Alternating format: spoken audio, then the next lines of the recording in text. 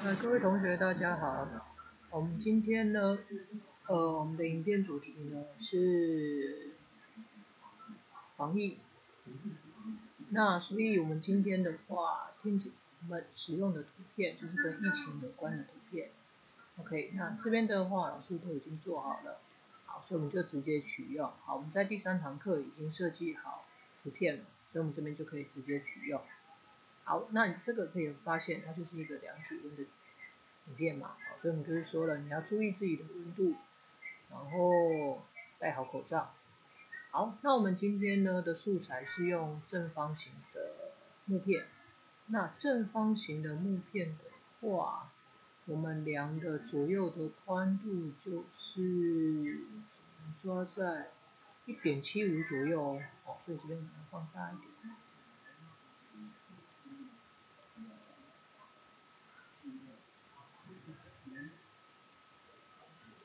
这样字就会有点散。OK，再量一下长方形的素材。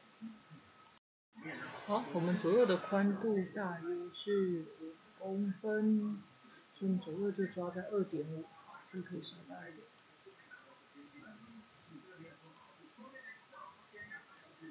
好，可以尽量做满版一点。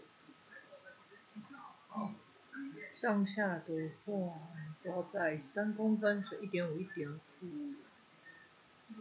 哎，可以哦，这样子大小是可以，可以再大一点，比较难看。基本上这样是不会超过的。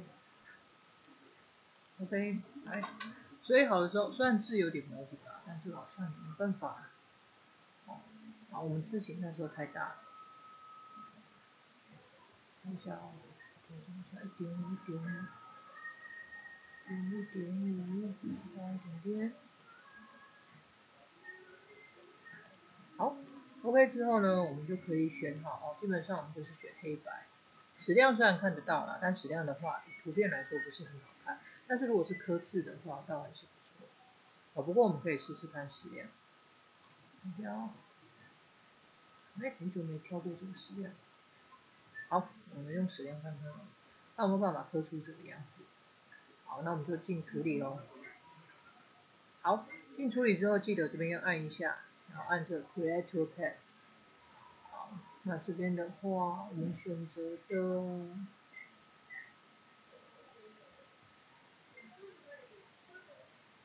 切割公路，哎，所以它的部分的话，如果是矢量的话，矢量的话，它的数据是不太一样的，我就发现它这边的数据不太一样哦。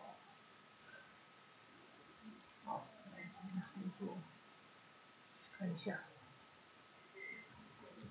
所以它这边的话，它可能是使用多重切割，而不是使用功率的部分。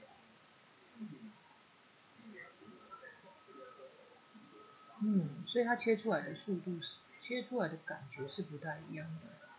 OK，那我们等下可以试看看。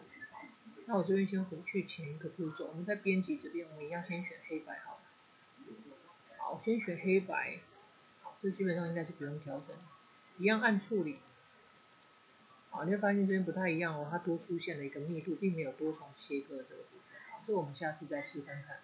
好，那密度这个地方我们就调到八。好，成功生成工具路径之后，然后一样按生成区代码。成功生成区代码之后，再把区代码加载到分布区。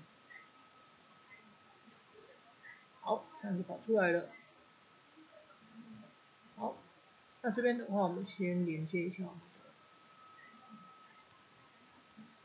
雷雕机，按连接，选择我们的机器，选择。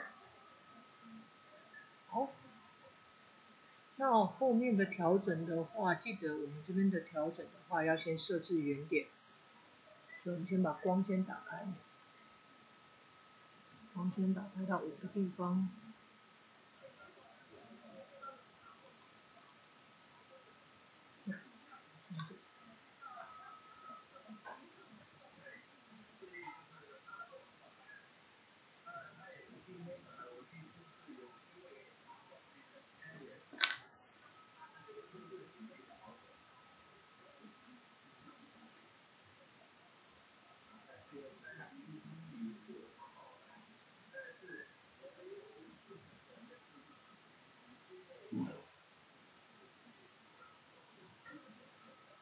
我们现在做的是调整它的。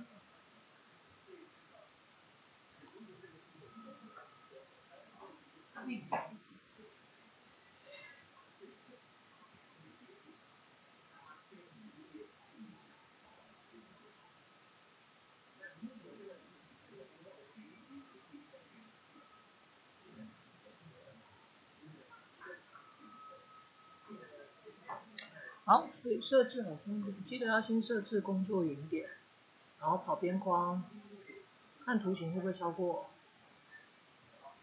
嗯，做起来这么小，好，没关系，那我们就试跑看看吧。记得先关掉，然后把你的功率开到一百，设定，好，那之后我们就可以开始雕刻喽。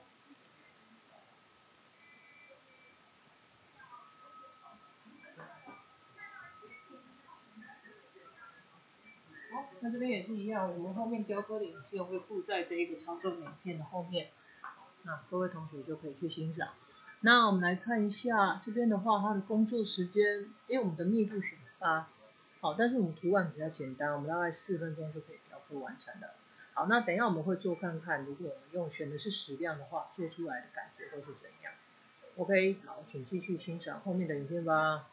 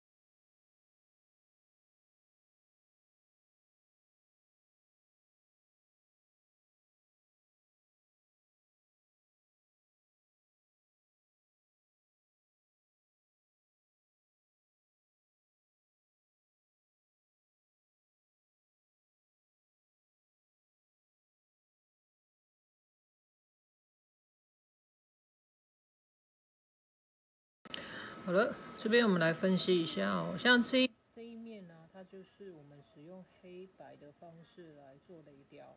那你会发现它的图，它的图形的话，其实是比较表面的在刻，它原来是刻图案的感觉，所以它用点状去打，好，比较像刻图案的感觉。好，那我们再来看一下，呃，这个大部分的细节其实都。有，那主要是看我们黑色条的部分。哦，那这个这个字的部分应该是它可能没有打到。哦，好，但是因为我们是用密度八的方式去调，好，所以刻出来样子是这样。好，那我们再看另外一面。好，另外一面呢，刚刚老师就是用矢量的方式去调。那你会发现，它其实刻下来它是有深度的。我们刚刚在刻度切割的部分。我用的密度是八，所以它是一个，它刻出来是会这样子有深度的。好，那有可能周围旁边有点烧焦，那就是刻的，因为它刻比较深的关系，所以旁边都会有一些焦痕。而且这边摸起来的话，其实它都是会有深度，我们可以都摸起来都会有刻度。好，所以你看字的呈现还算清楚，除了晕开的部分之外，那也很可以看清楚，就是在眼神的部分。啊，也是有，所以这两种方式刻出来还是会有很大的差别。那用矢量的话，它的线条感会比较清楚。好，但是如果我们用的是黑白的话，好，它的话就是比较适用在图像。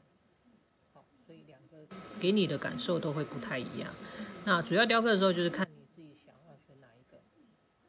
好，你会发现这里面就都没有。